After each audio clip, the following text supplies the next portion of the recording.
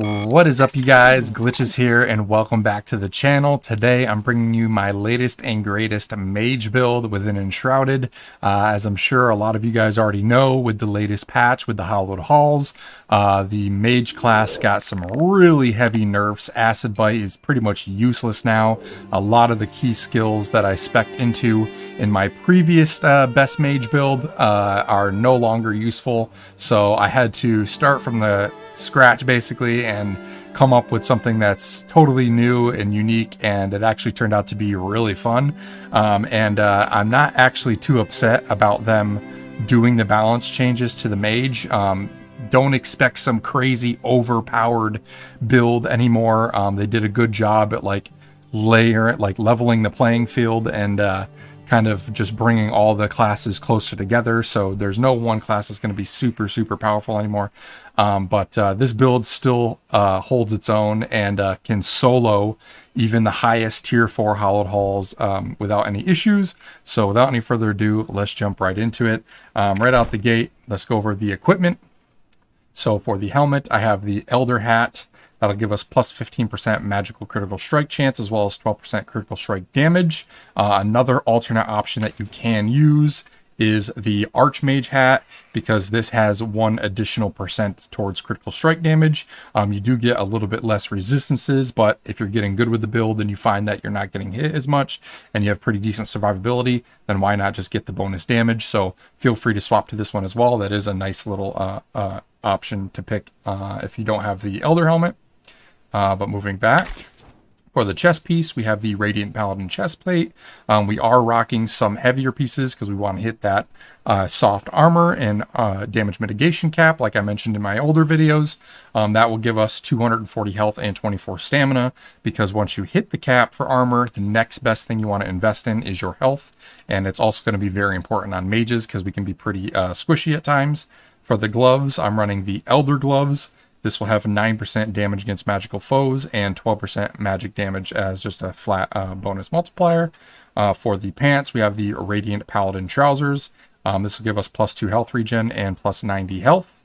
And lastly, for the boots, I'm uh, running the Radiant Paladin boots for the plus 4 health regen and the minus 120 health regeneration delay bonus. That'll help for our health regen if we ever get caught out by a strong hit and it brings us uh, down low pretty quickly. It'll regenerate a little bit faster. Now for the rings, one big thing that I want to mention is after the updates, um, especially with the infinite mana combo with Rings of Rapacity, um, that no longer works. So mana is much more important now. Um, with this particular build, because of the staff we're using, which I'll go over here in a minute, uh, it's actually not as big of a deal as you think. But if you don't have this staff, what I highly recommend is running double rings of mana, uh, preferably the highest level ones you can get. I think the 20 mana and plus 3 mana regeneration, or plus 2 mana regeneration is the highest that there is. There may be a plus 3, I'm not sure. Um, if there is, I haven't gotten it yet, but let me know in the comments if there is. Um, if it, it, does exist, it'd be within the, any of the tier 4 zones. Um, I got mine in some of the Sun Temple chests. Uh, actually, I got a couple in the Hollowed Halls as well. Um, but for this particular build, because of the staff, I like to run one ring of mana for the 20 mana and 2 mana regeneration and one ring of the ancients which does finally work properly now. That will give us plus one bonus stat to dexterity strength constitution spirit endurance and intelligence. So we'll get a little more magic damage a little more mana a little more health um, and uh, the spirit and dexterity or uh, strength and dexterity not as big of a deal because we won't use any melee weapons in this build but still not a bad bang for your buck. Uh, feel free to throw that in there. Um, if you do find yourself running into mana issues, though, feel free to try and throw on that uh, uh, double rings of mana, though. For the shield, um, we're not using melee weapons at all in this build. Um, I don't even bother bringing one um, to blow stuff up because I just use my wand because um, that is something we will be using more in this build that we didn't before as well. And uh, in this particular instance, I'm running the Ethereal Plane because that will give us plus 10 Shroud resistance. So why not get the bonus uh, resistance stat because we're not going to be blocking really anyway. Now for the staffs, the best in slot, in my opinion, staff that you can use for this build is the Blackened Staff. That is because it comes with the perk Mana Leech, which on hit, you leech 5% of damage as mana. This is what is going to allow us to run the uh, Ring of the Ancients because with the amount of damage we're going to be doing with this staff, our mana is constantly going to be refilling and we will just be able to spam our fireball spells, spam all of our uh, healing or um, uh, bone uh, spells um, without any issues with mana running out. So this is a really, really good one, and we get some critical hit chance percentage and critical hit damage uh, bonuses with it as well. Um, so definitely, in my opinion, the best go-to if you don't have the Mirage staff, the OG Mirage, or, or Mirage, the OG Shroud Reaver staff, the one that's level 35. This even I don't prefer using in this particular build because of the mana issues. You do get uh, a decent chunk more damage, but in the highest tier Hallowed Halls when you're soloing, it still takes two shots to kill most enemies. So even with that bonus damage, it's not enough to one hit them. So really, what's the point of having the bonus damage if you have to fire it off twice anyway? Um, so I wouldn't even recommend using the OG. I recommend using the Blackened at all times.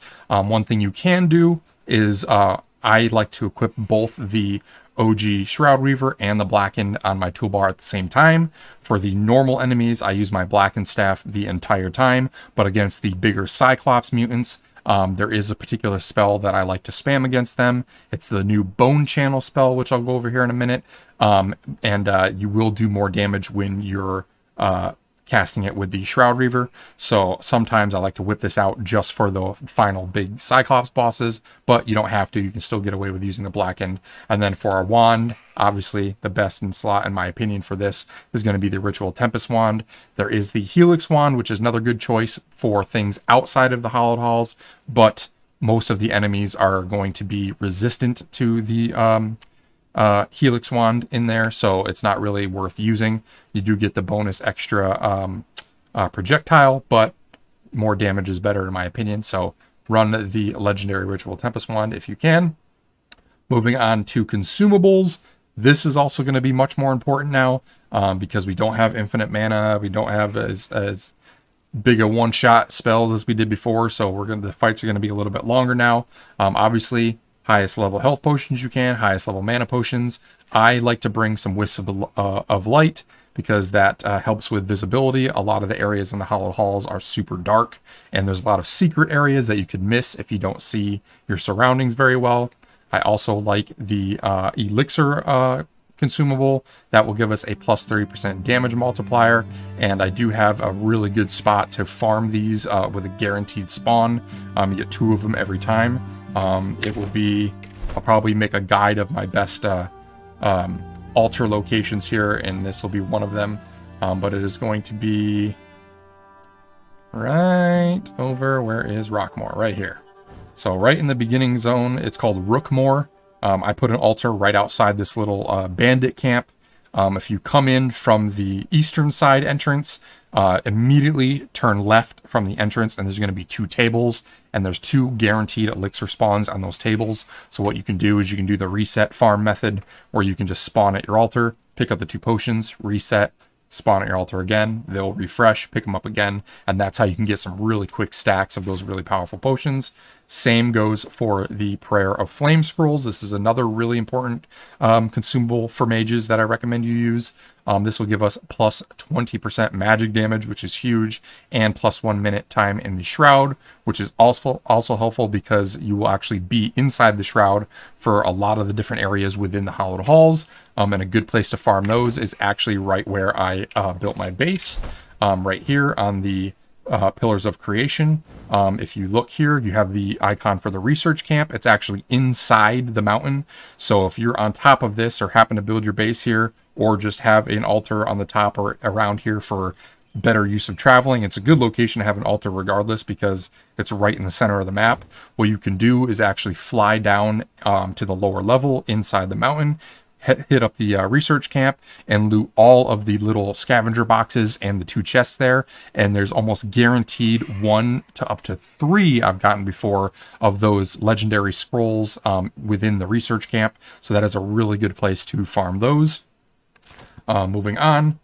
Uh, if you die for whatever reason and you lose your uh, rested buff, I like to bring Flasks of the Fell for some additional stamina.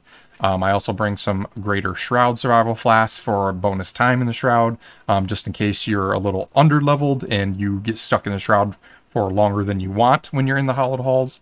Um, the two main consumables that you can craft that I like to bring is the meat wrap. That'll give us five constitution for a ton more health and one bonus intelligence for more magic damage, as well as glow soup um, if you don't have the recipe for glow soup, any of the mushrooms will give you intelligence as well.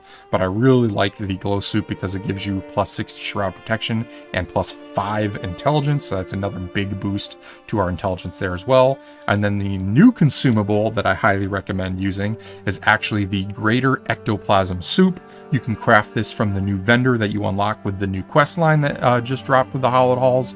And what this does is for 50 minutes, so almost an hour, um, you get minus 100 health, which seems like a downside in the beginning, but the build is actually pretty tanky with some of the perks.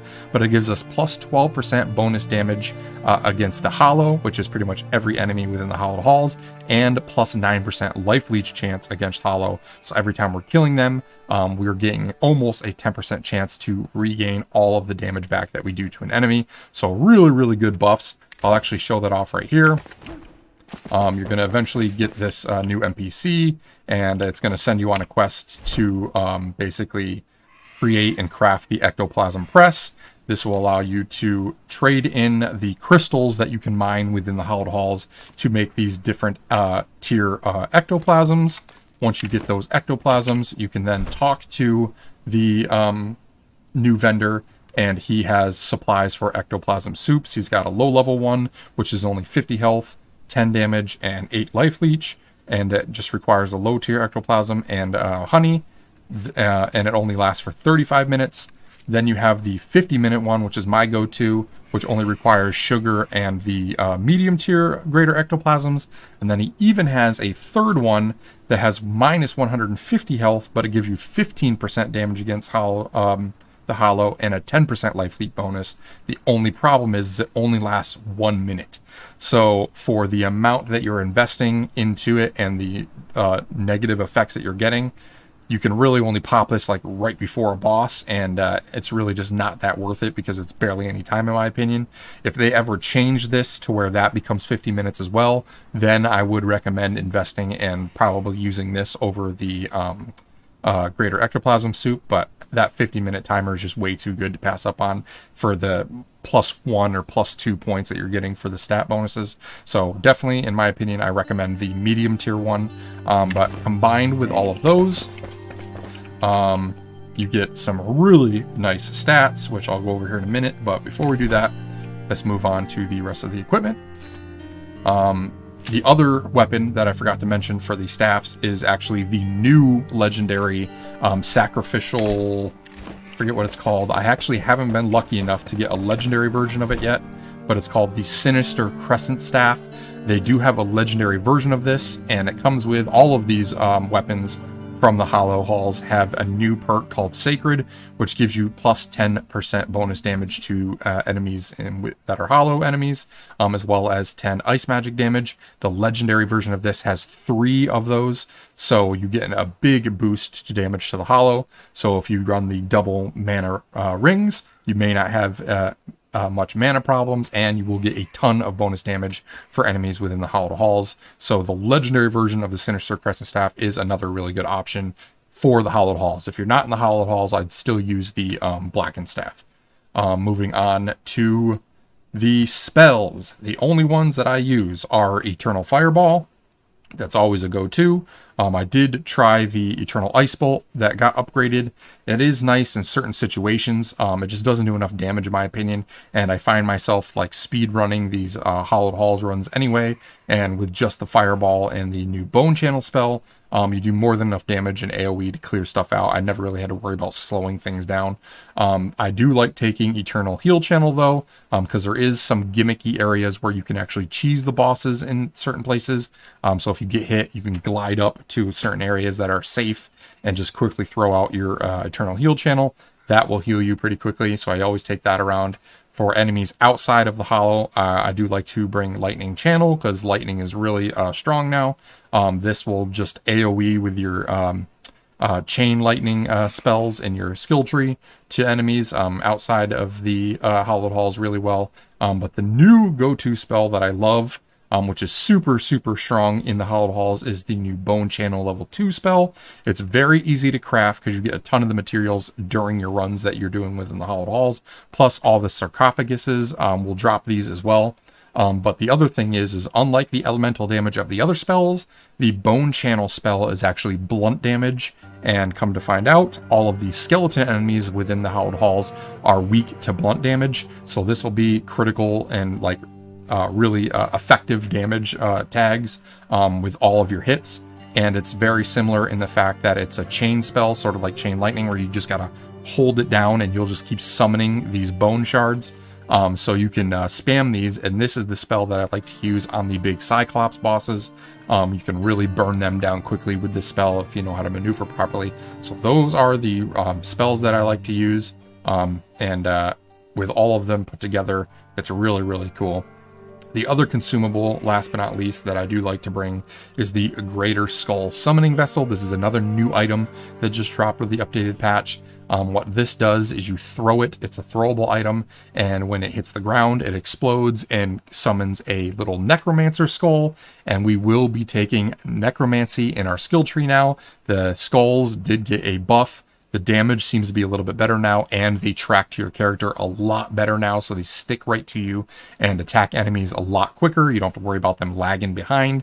Um, so there's instances, I'll probably show clips here um, during the final combat thing here in a minute, where you can get upwards of like six or seven of these skulls going at one time.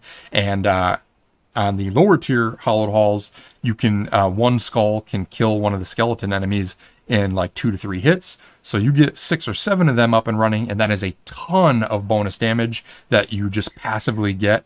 Um, so in my opinion, it's super worth it to take that ability now. Um, and it actually is a ton of fun just have an army of skeleton uh, heads that just follow you around. So really, really cool. Um, but moving on, the next thing I guess I'll go over is the most important thing, which is our skills. A lot of things have changed. So right out the gate, you want to take um, endurance, runner, and double jump. So you have some additional maneuverability. Pick up the quick point in endurance, followed by wanderlust for increased sprinting uh, percentages on dirt roads. And then lastly, good metabolism. This will give us a bonus um, 10% uh, to the respective resources for the orbs that regenerate, which we will be taking. Our main go-to um, spawner of those orbs will be our wand, um, but it also works for mana and health potions, which are nice because we will be popping those uh, in a rare instance as well. Gives them a 20% boost um, to your potions as well, which is nice.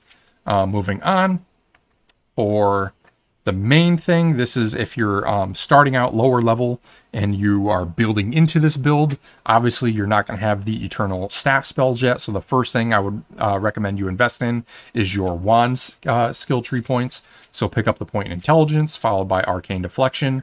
Um, I like to pick up blink for maneuverability. This is really helpful with a mage. It gets you out of dodge really quick. Um, followed by the quick point in intelligence again. Pick up Unity, damage enemies with wands, has a 24% chance to recover additional mana, followed by Wand Master and Sting. Sting will increase the damage by the wand by 20% after repeated hits, and Wand Master allows for the possibility of an additional projectile, so that Ritual Wand can summon two projectiles at once now, um, which is nice, followed by the Quick Point in Spirit and the Quick Point in Intelligence. Then I would recommend going into the uh, kind of the tank tree um, pick up the point in shiny plates for the 10% bonus armor, followed by evasion attack. Then you want to pick up battle heal when dealing damage uh, with a melee weapon. You can re uh, heal 5% of your maximum health. This is kind of a throwaway because I don't really bring any melee weapons, but we use it to get to these next perks um, quick point in spirit, followed by bloodletting. When scoring a critical hit with a magical weapon, there's a 50% chance to spawn two health, mana, and or stamina orbs. This is really nice because it combos with that uh, metabolism perk, um, so they get really powerful when you pick them up, and you can heal huge chunks of health and huge chunks of mana with just one orb, and they'll spawn pretty frequently with your wand, especially when they chain hit to multiple enemies. Um, next, pick up Life Burst when killing an enemy with a magic weapon. All players within 15 meters gain health equal to three times your intelligence, and we will have upwards of 20 plus intelligence with this build by the time all of our consumables are turned on and whatnot. And then lastly, pick up Blood Magic when your mana drops below 20%. You restore up to 20% of your maximum mana at the cost of one health per mana. This will stop at one health. So this is a good like get out of jail free card, especially if you're not using the blackened staff. As soon as your mana bar gets depleted, it'll instantly jump up 20% of your maximum uh, mana pool and give you enough to cast another spell right away, and that'll just keep jumping back up. So a really good combo there. Next, you want to pick up heavy plates for the uh, bonus physical damage mitigation. Then you want to pick up the point in constitution for more health. Um, here, it's kind of up to you. Um, personally, I take Tower because I feel like you get hit with as a mage more by physical attacks. So having the bonus 10% less physical damage is more beneficial in my opinion. However, we do have a little bit less magical resistance in this build than we do physical resistance. So if you feel like you're maneuvering well and you're not getting hit, you can pick up Warden instead, and it'll actually work out in your favor um, because the next point will be in Constitution, which will actually help you more. It'll give you plus 50 health um, instead of uh, wasting it on the Strength. Um, but I go with the tower because I think the damage mitigation is better. Um, strength, kind of a throwaway in this particular case, but we use that to get to Earth Aura. This is going to be a flat 10% um, damage uh, mitigation buff to you and all players within 10 meters of you. And this is permanent, so this will always be up. It's just a free 10% damage buff, um, which is really nice. Moving on, um, you want to pick up the quick point in intelligence on the healer tree. Then on the wizard tree, you're going to be taking most of these point in spirit, followed by this is the way. When attacking with a magical weapon, all damage is increased by 10%. Then we want to pick up our friend Necromancer. This is what's going to give us a 10% chance to spawn our little skeleton fiends. Um, and I'll probably show some clips where you can get a ton of these up. One big thing with the Hallowed Halls is they've added a much larger mob size to the different uh, battles that you're doing throughout the Hallowed Halls. So you're going to be fighting tons of enemies at once. So there's actually a really high chance to summon these skulls because you're killing big groups of enemies very quickly. Um, moving on, Quick Point in Spirit, followed by Arsonist and Pyromaniac for the 30% bonus to all fire damage. Fireball is going to be our main spell, so that's a really good bonus there. Also, pick up Thunder and Lightning for 30% bonus to uh, thunder damage. This will be good for our ritual, uh, Ritualist Wand, as well as our Chain Lightning. Um, so really good to pick up that. Moving on, quick point in intelligence, followed by wizard. This is an obvious one. When attacking with a magical weapon, your critical hit chance is increased by 10%. So that'll bonus uh, give us a crit chance there. Um, chain hit and mass destruction is what we're going to use to combo our fireball and allow us to hit multiple enemies at once with not only our spells but also our wand. Um, so a really good combo there, really good for AoE damage. And then lastly, the quick point in intelligence. Moving on, I like to pick up well rested. Um, this increases your rested buff by five minutes. Some of the end, uh, like tier four hallowed halls, you're in there for upwards of 30 to 40 minutes. Um, so depending on when you jumped in, if you were doing other things before, or if you die for whatever reason, um, uh, well, if you die, you're going to lose it. But either way, if your rested buff uh, isn't as high as you would like, there is a potential that it could run out too soon. So having that is nice. And it's just nice to have in general, especially just when you're out in the wilds. Um, then you want to pick up quick charge. This is huge. Um, reduces the time that staffs required to charge the spells by 50%. This is going to be a no-brainer. Um, staffs are pretty much useless unless you have this ability. Um, next, pick up Counter Strike. After receiving damage, there's a 20% chance to reflect 50% of that damage back to the attacker as fire damage, and that does combo with Arsonist and Pyromaniac. Then we have updraft. We do get to take updraft in this build. It wasn't in my previous one because we wanted to min-max our points, but very good for flying here. And it's also good in the Hallowed Halls if you want to cheese certain boss fight encounters because you can jump up onto higher ledges and they can't hit you. Um, not that you need to, but it is handy in a tight situation. Um, quick point in intelligence followed by be gone. Uh, it's not really that useful. We won't be doing it that much, but it basically replaces your melee with a power punch that can stun enemies. Followed by the quick point intelligence, and then lastly, terror. This is a huge one on a critical hit with a spell, which we will be doing all the time. The target will be stunned for four seconds. So if you throw a fireball into a big mob, there is a good chance that half, if not all, of the pack, once your chain reaction goes off, will get stunned. So you can literally sit there and just keep on spamming fireballs and they can't do anything about it. So a really good combo there. And so, yeah, that is pretty much the build, you guys. And in my opinion, the proper order if you're progressing through it. Um, wands definitely focus on first, um, then work into staffs once you start getting into your uh, eternal spell unlocks. Um, but now what we can do is go ahead and pop all of our consumable items that I recommend and show you what our attribute stats are. So let's go ahead and pop our constitution, pop our glue, pop our potion here, pop our scroll, and then pop our frenzied potion. So tons of buffs here. So we're going to go into our character sheet, all attributes, and as it stands, our primary uh, points, 12 constitution, 10 spirit, 8 endurance, 7 strength, 6 dexterity, and 20 intelligence. That is huge. We're also getting uh, a nice little health regeneration delay. For damage, we have 82% bonus critical damage, 10% critical chance. This is actually a little bit higher because of the perks that we have in our pool and with our uh, armor.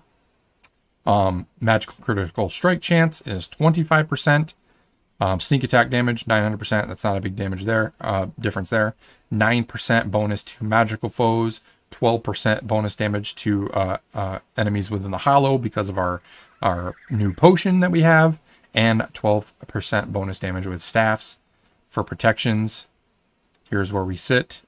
Magical resistance 168, physical resistance 253, plus all of the bonus armor mitigation and physical mitigations we get with our skill perks like tower and things like that. So really, really good, nice overall around build. And uh, you can blow through these hollow halls without any issues solo and uh, not have any problems. So I guess the next order of business is to just jump into the hallowed halls. I will probably just record a full run right now. I won't show the full run, but once we get to certain rooms that have really heavy packs of enemies and probably like one of the bosses, um, I'll cut to those clips and show you guys that. So check it out here in a minute. Alright, so we're coming up to the first main hallway of the Tier 4 Hallowed Halls. Here's a quick little uh, uh, fast farm that I can show off here that I like to do actually during these runs. Uh, I like to just bypass this whole area and pull them all to the final door. Um, so you can air draft up and immediately glide down all the way to the bottom.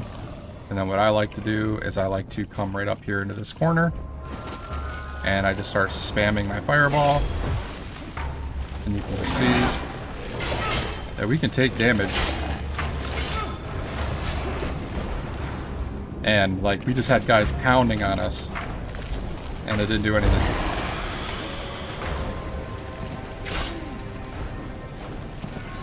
Of course, I get stuck. Boom. See how fast you can take them out? Spawning some of our skeleton buddies.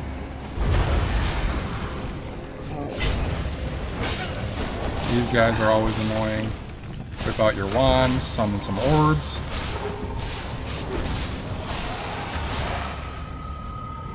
Quick and easy. Let's clear out the whole room.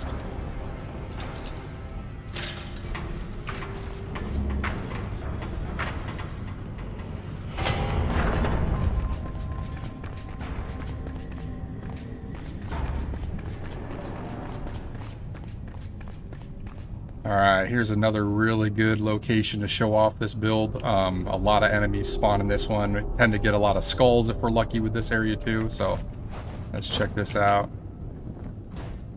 And you can get away with literally just spamming fireballs. Okay, we already got one skull. There's another one.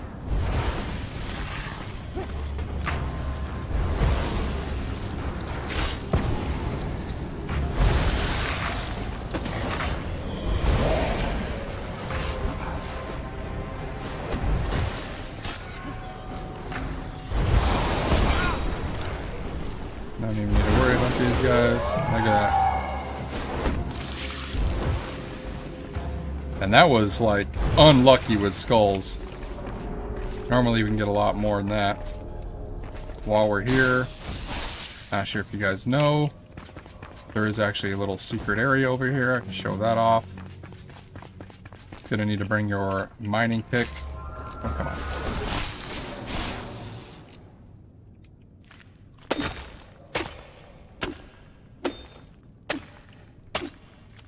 Come on.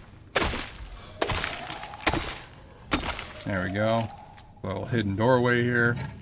There's usually nothing too crazy in this chest, but... Or maybe there is. I just got a legendary ornate bow. I'll take that.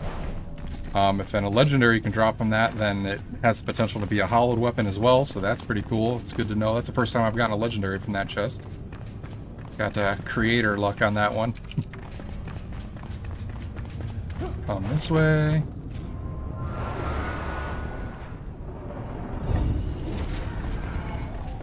Here's our first little gliding puzzle.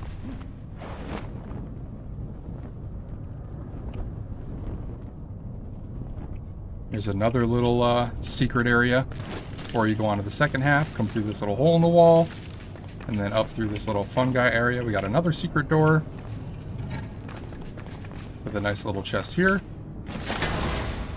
There's a little hollowed axe. Not a legendary, but hey, better than nothing.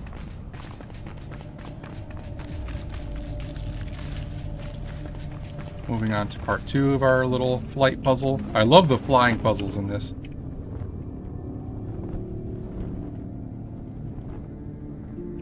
Okay, here's our first little boss zone.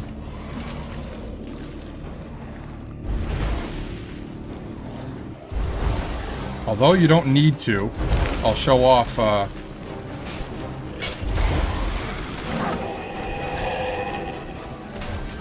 I always like to try and take out these two things first.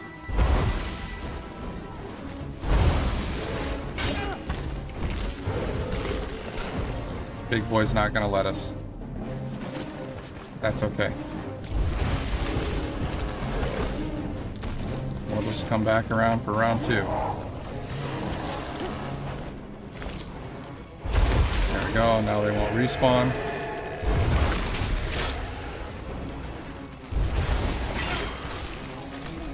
Um, while we're here, you don't have to do this, but this is also a little trick. You can updraft onto this little ledge here, and nothing can hit you up here, so this is a safe spot. Not that it's needed, but it does work. And it can break line of sight on the boss. So it'll give you a chance to clear out some of these guys without being uh, bombarded by other enemies.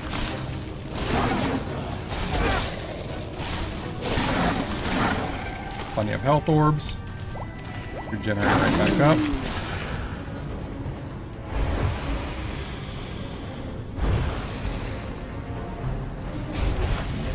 What's cool is if you quickly glide out of the way and break line of sight of the boss, he won't chase you, which is nice.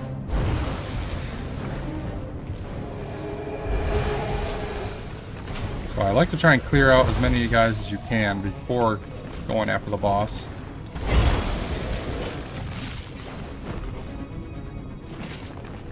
Because I like to use a Bone Channel.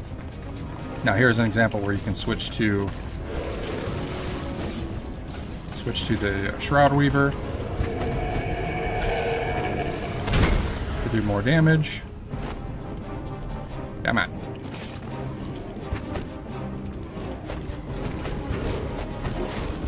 So tons of damage.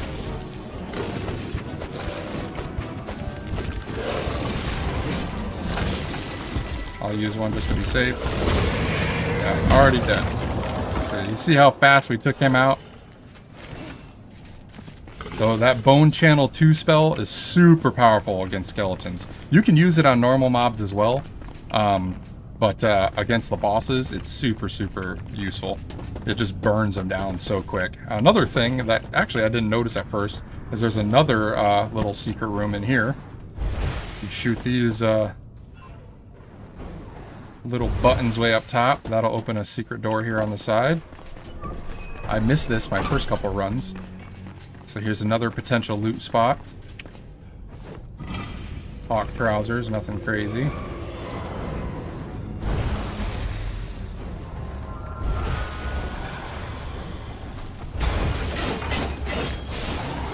These guys I like just burning down with the wands. They're super easy. Hello.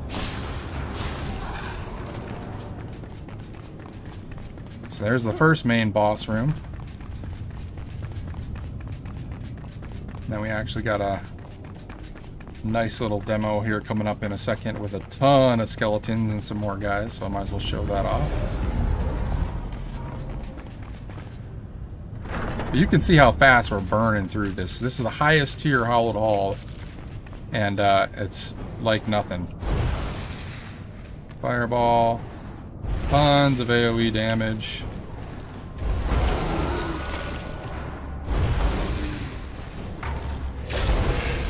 Skeleton buddies are helping us out in the background. Dunning them, they can't do anything.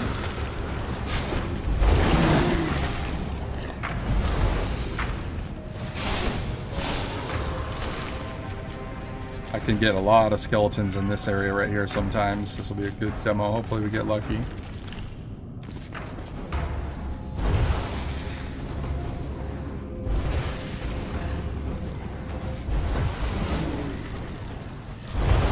Look at the army of skeletons that we got helping us out now. Come on. Yeah, so we've got what?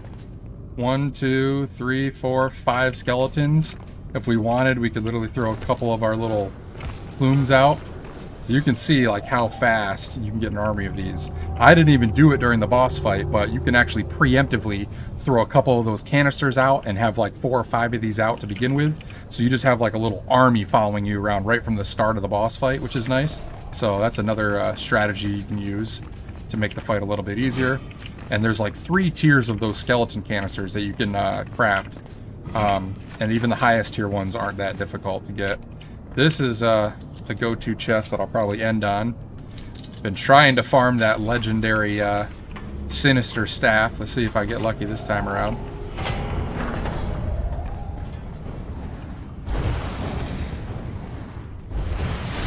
Get in my minions.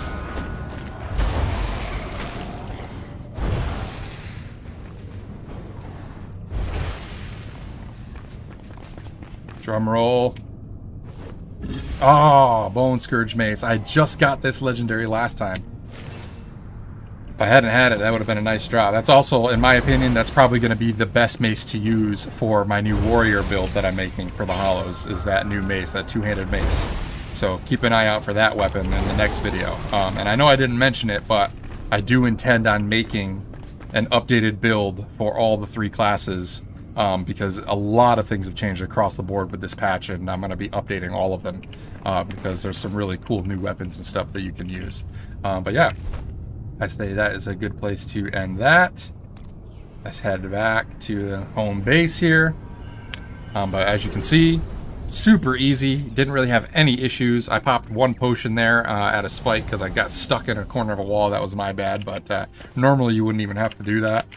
Um, but yeah, you enjoyed the video, if you found it informative, uh, and if you uh, it out and like the build, be sure to uh, drop a like on the video. It really helps out. And if you want to keep up to date on all my future content, consider subscribing. Um, also, we have links down in the uh, description for our Discord. We have hundreds of players in there. It really blew up, especially for the Enshrouded community after my first wave of videos. So feel free to click that link, join us. Uh, look forward to seeing you guys around. Um, I do a lot of giveaways, things like that. Hopefully become a partner at some point. Uh, that will also be nice. Um, but yeah, that is pretty much the build, you guys. Um, until the next one, hope everyone had a great day, and we'll see you all later.